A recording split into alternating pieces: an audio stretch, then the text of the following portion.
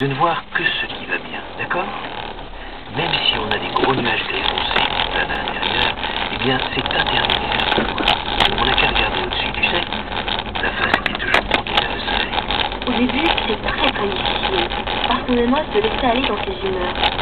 Et puis après, c'est trop long. C'est comme le soleil qui commence à chauffer en plein hiver. Même si les autres sont un accueil glacial, eh bien on reste chaleureux de toute la chaleur qu'on a accumulée pendant C'est comme ça qu'on peut dessiner la vie avec du beau, du beau, du bien. Je ne sais pas si vous avez remarqué, ce qui sépare les gens, ce sont les mots. Même les petits mots de rien du tout, ça peut produire les pires mots. Il y a des mots blessants, et puis aussi des mots qui tuent. L'amour peut commencer sur acier et finir par. Un mot de trop. Peut-être bien qu'on habille la réalité avec des mots parce qu'on a peur de la voir toute nue. Peut-être bien aussi qu'il vaudrait mieux se taire plus souvent. Apprendre à contempler. Rien dire. Rester dans le silence. Les amoureux, ils aiment rien tant que le silence. C'est drôle, c'est quand ils ne disent rien qu'ils s'entendent le mieux. Même que il a dit un jour, On reconnaît l'amour véritable à ce que le silence de l'autre n'est plus un vide à remplir, mais une complicité à respecter. Quand on aime quelqu'un, eh bien le quelqu'un qu'on aime, c'est comme Dieu. C'est un quelqu'un qui ressemble à personne, qui n'a pas besoin de parler pour être présent, qui est capable de vous fabriquer de l'infini en un sourire. Et quand vous pensez à lui très fort, de vous transporter dans un monde qui n'existe pas, ou qui existe seulement quelque part ailleurs. Raph, je l'ai tout de suite remarqué, même dans le silence, même avant qu'il parle. C'est pas une grande personne comme les autres.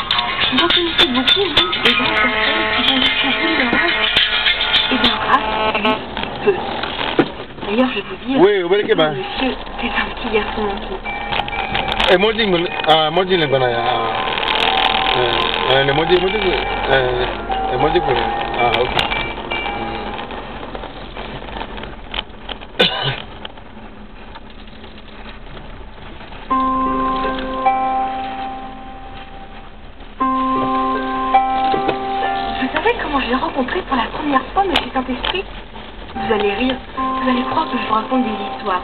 Et pourtant, c'est exactement comme ça que ça s'est passé. Dieu m'a donné de rencontrer des gens tout à fait exceptionnels, qui sont devenus des amis. Si je dis que ces gens sont tout à fait exceptionnels, ce n'est pas parce qu'ils sont mes amis, mais parce qu'ils chantent leur vie à plein poumon, alors que les autres la susurrent du bout des lèvres. Raphaël, par exemple, c'est comme une allumette. Il a l'air de rien comme ça, mais il serait capable d'enflammer le monde entier tellement il a d'amour qui dans le dedans de lui.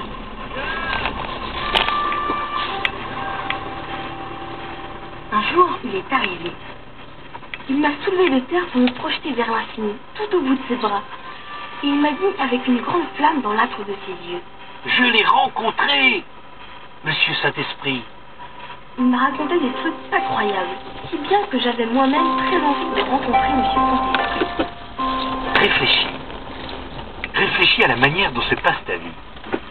Les moments importants, est-ce que tu les as vraiment choisis Ils sont arrivés tout seuls. Tu as été agi, voilà tout. C'est comme l'enthousiasme. Ça passe par toi, mais ça ne dépend pas de toi, en tout cas, pas de ta volonté. Parfois, tu mets des années à appliquer ta volonté pour réussir quelque chose, et puis rien ne se passe, pas si bien que tu l'avais prévu.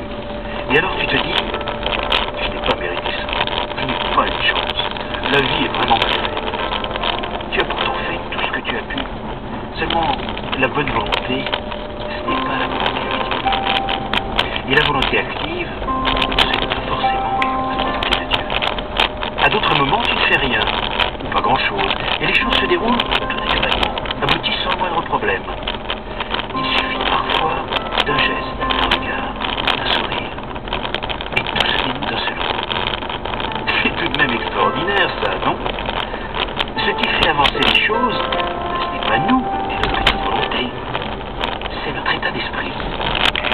Notre présence à communiquer avec Saint-Esprit.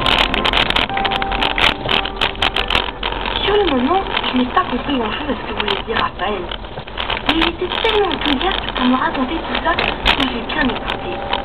Il m'a dit que des comme moi, il n'y en avait pas deux. Tu ne manquerais plus que ça, tiens. Et j'ai bien réfléchi à ces histoires de choses qui se déclenchent toutes seules par une opération du Saint-Esprit. Tous les deux, on est allés voir à Morgan, un maître de tir. C'est un vieux sage respectable, et moi je suis vraiment au bout de côté. Mais il veut qu'on parle d'égal à égal, et moi. Parce qu'il sait que je connais autant de choses que lui, et peut-être même plus. On a donc parlé de M. Saint-Esprit. Une fois de plus, Morgan avait plein de choses à m'apprendre. Moi et Raphaël, on a passé la soirée chez lui, et je n'oublierai jamais ce que j'ai vu, parce que j'ai l'impression d'avoir gagné 100 ans de sagesse. Laissez-moi raconter.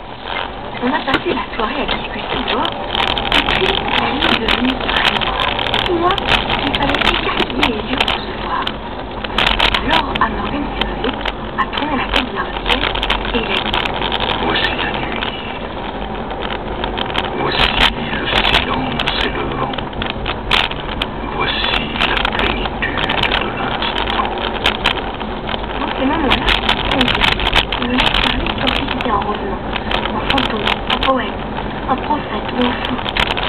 D'ailleurs, il est un peu tout ça à chaque fois. Il a dit Jeanne, va chercher deux cierges. Raphaël, tu les allumeras et tu les disposeras de chaque côté de la cible pour se Dire aussi, il est interdit.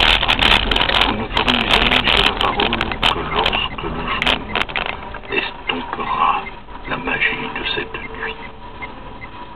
Imprégnez-vous de ce que vous allez voir. Suivez bien le cérémonial et lorsqu'il sera terminé, fermez vos yeux. Mettez votre esprit en veilleuse et méditez, mes amis. Méditez la nuit. Méditez le silence et le vent. Méditez la plénitude de l'instant. Moi, ça me met un peu la frousse toutes ces histoires. Mais j'ai fait ce qu'il m'avait demandé. Avec Raphaël, je suis allée poser les cierges tout là-bas. Je me souviens, c'était drôlement loin. Et comme la nuit était très noire, on a failli passer.